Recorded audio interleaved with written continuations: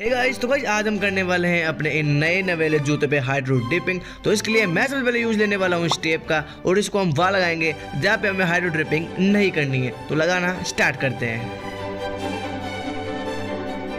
तो इस टेप के बाद हम लेने वाले हैं एक बाल्टी, और इसको भर लेंगे पूरी पानी से। तो इस पानी भरने के बाद हम लेने वाले हैं स्प्रे पेंट और उसको सीधा ही चलाएँगे अपने इस बाल्टी के अंदर।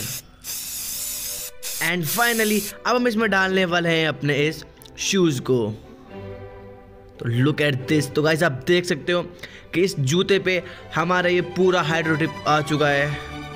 और अब हम इसको सुखा देंगे। और सुखाने के जस्ट बाद इसका जो भी एक्स्ट्रा टेप है, हम इनको निकाल के फेंक देंगे। एंड फाइनली हमारा जूता हो चुका है रेडी तो गाइस आप देख सकते हो कि इसका लुक कितना ज़्यादा नेक्स्ट लेवल है।